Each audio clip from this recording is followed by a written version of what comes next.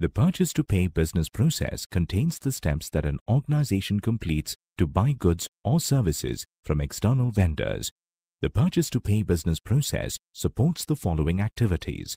Request the purchase of goods or services through the use of a purchase requisition. Convert the purchase requisition to a purchase order or PO. Process POs and perform PO follow-up. Accept goods or services by entering a goods receipt referencing the PO record and verify the vendor's invoice, pay the vendor